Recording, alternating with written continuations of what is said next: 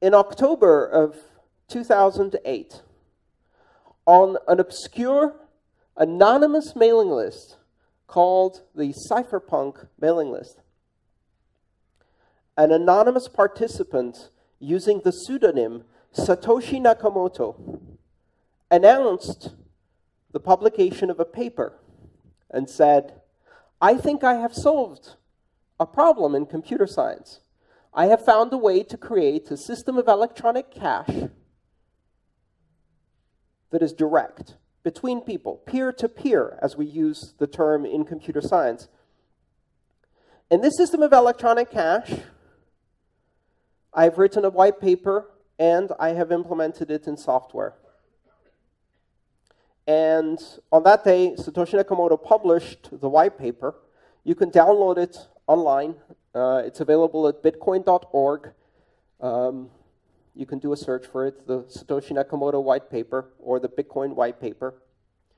And in nine pages, Satoshi Nakamoto described in detail and in ways that predicted many of the things that happened over the next seven years what Bitcoin was and what Bitcoin could become and how it would work. But he didn't stop there, or she didn't stop there, or they didn't stop there, because we don't know if Satoshi Nakamoto is a man, a woman, or a group of people, or an alien being from the future. Okay, probably not that last one. Satoshi Nakamoto then published software and invited people to participate in running a network. And this gives you the first hint as to how Bitcoin works. Bitcoin is software. Bitcoin is an application, among other things. You download this application, you run it on your computer. You can run it on a laptop, you can run it on a desktop, preferably on a computer that's permanently connected to the internet. It uses quite a bit of RAM and disk space right now, but in those days it was very lightweight. And if you run this program, it reaches out on the internet and it finds other people running this program. You don't know who these people are. It doesn't reach out to specific people. It creates a random mesh network, what we call a peer-to-peer network, where every participant in the system is equal. There's no special computer. They're all just talking to each other. It creates what in network terms we would call a crowd. So randomly, reaches out and connects to various other computers running the Bitcoin software. And together they create a network. And that network is used to exchange and propagate transactions. And these transactions are encoded in a digital format. They contain information about the transfer of value and the authorization to transfer value between participants. Nobody controls this network. And this is a critical concept. Nobody controls this network. You can be running one of these computers. You do not control this network.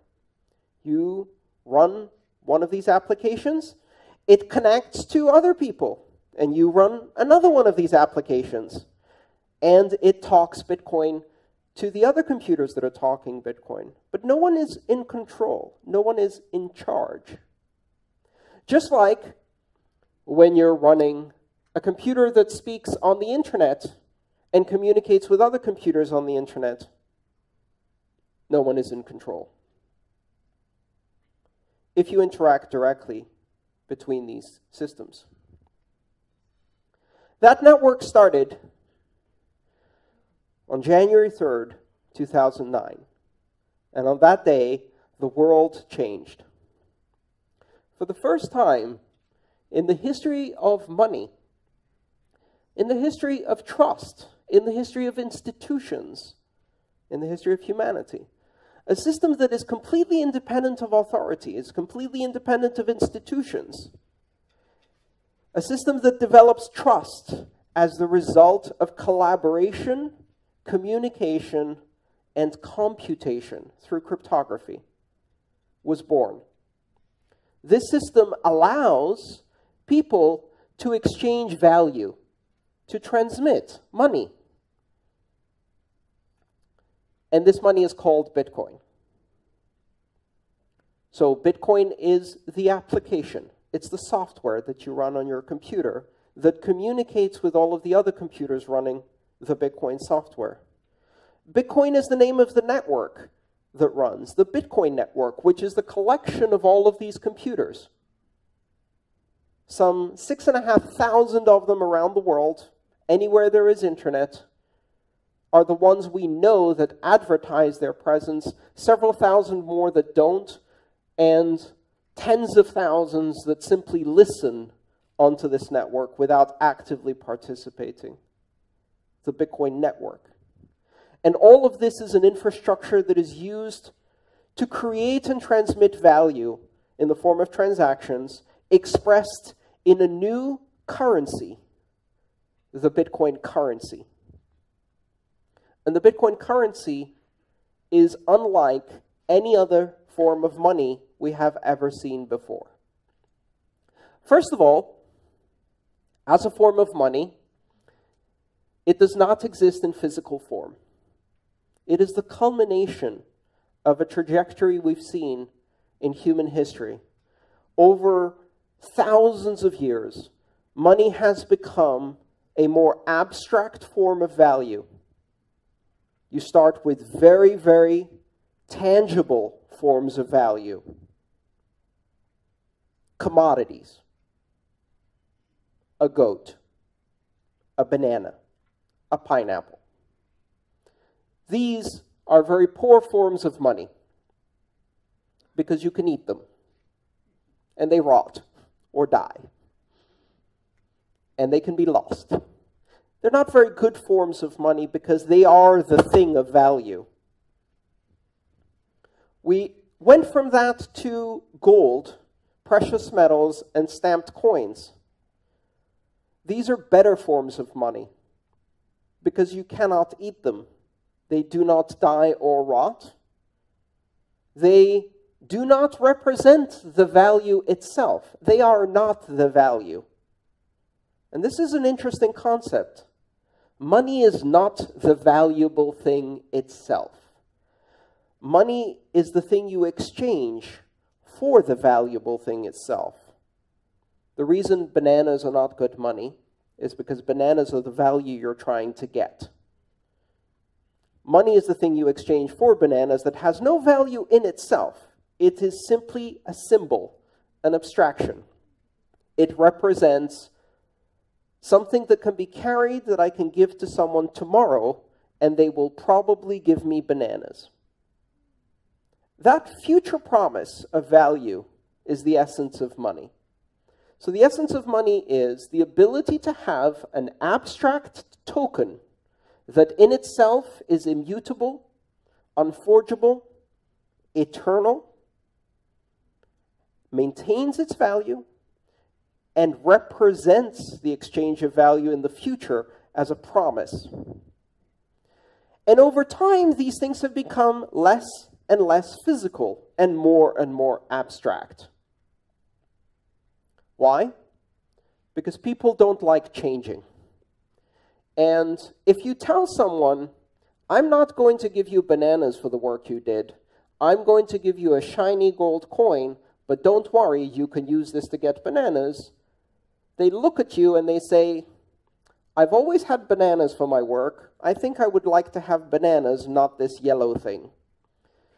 A hundred years later, they now believe the yellow thing is valuable. And then you tell them, now I'm going to give you a piece of paper instead of the yellow thing, but don't worry, you can still convert this into bananas. And most people say, I don't think that's real money. I want the yellow thing. And the world moves on. And eventually we change and we say, you know what? You won't get the piece of paper either. you won't get the coin. You will go and look at numbers on a page or on a web page. And that represents the amount you have in the bank. But don't worry, you can still use that to acquire food, products, services. It really is money. You can't touch it, you can't see it, it's just a number. And finally, we arrive at Bitcoin. Bitcoin has no physical form. It doesn't exist in any way. It is entirely intangible. It cannot be touched. It is simply a digital form of money. But it is a digital form of money that is entirely different from everything we've seen before. What it does that is different is that it is not a form of money that is recorded in the database or records of a company. It is not a, digital form of money that represents a debt owed to a central bank or government. It is not a digital form of money that has been issued by a sovereign, a central bank, a nation, a king. It is a form of digital money that has been issued through complex and energy intensive computation on the internet is recorded simultaneously on every computer that participates in the Bitcoin network, is validated independently by every computer that participates in the Bitcoin network, cannot be forged, cannot be counterfeited, cannot be censored, cannot be seized or frozen, can be transmitted anywhere in the world as information, can be verified independently by anyone who receives it, and is not controlled by anyone. Its value is not controlled, its issuance is not controlled, its ownership is not controlled. It is direct from one person to another person with no intermediaries. If I use my mobile phone to make a Bitcoin payment to someone in this room, I am creating a digital transaction that recognizes the fact that a certain number of Bitcoin that the network knows belongs to me through the proof of my digital signature. I have authorized the transfer of that value to another owner of Bitcoin who will then be able to control that Bitcoin through their own digital signature, through their own cryptographic key. Now, you don't need to know anything about digital signatures or cryptographic keys. When you use Bitcoin, you see an application on your mobile device or on your desktop. This application tells you you have three Bitcoin. It allows you to enter the address of a recipient, which is a number, just like an email address. It allows you to select an amount of Bitcoin you wish to trans transact. And when you click send on your application, it uses the digital signature and private key that is embedded in your device to create and sign a transaction that is advertised to the entire Bitcoin network and says, I have transferred this value. And then the entire network now knows that this value belongs to someone else. They don't know who this someone else is. Nobody knows. When you do a Bitcoin transaction, it is not related or attached to identity. You do not need to create an account you do not need to register. You do not need to provide ID or name or location or address, age, gender, race, religion, nationality, nothing. You don't even need to be human. And you laugh, but it is true. Bitcoin enables, for the first time in human history, non human entities to actively control and own value. Which is bizarre because we've never had that in any legal system in the world. we have the legal fiction of corporations, and corporations can own value, but corporations can only exist as associations between living human beings. In Bitcoin, a software agent that is not owned by anyone through the use of cryptography can own and transact in Bitcoin internationally. This creates some very interesting and also very disturbing possibilities for the future. Artificial intelligence systems can own and control money without any living human being involved. You can have corporations that have no directors, no living humans in control, that are controlled entirely by software. Back to people, though. If you are a person who has installed a Bitcoin wallet, you must pass a complex test in order to install this software. You must be able to download an application. That's it. Now, if you happen to own an iPhone, you must remember your iTunes password in order to install an application. And so far, I have found that this is the most difficult part of becoming part of the global economy of Bitcoin is remembering your iTunes password. but if you can do that, if you can access the Google Play Store, if you have basic familiarity with mobile applications, if you can download an exe on Windows and install it, if you can double click a mouse, that's it. You don't have to provide your name, your email address. You don't register or create an account. You don't have to prove who you are, where you are, or show that you are worthy. You do not have to have a credit score. You do not have to be authorized. This is something that is entirely different from every system of money we've ever had before. Now, for the internet generation, this is a very familiar concept. When you open a browser and you start using the web, do you have to register or get a license to use the web? Do you have to create an account to visit Wikipedia? No. The only requirement is that you are able to download, install, and operate a web browser. There was a time when the idea of allowing every human to be able to communicate without borders or censorship on the World Wide Web was terrifying to people. To some people, it still is terrifying. Most of the younger generation find it liberating in a global sense. Bitcoin does that to money.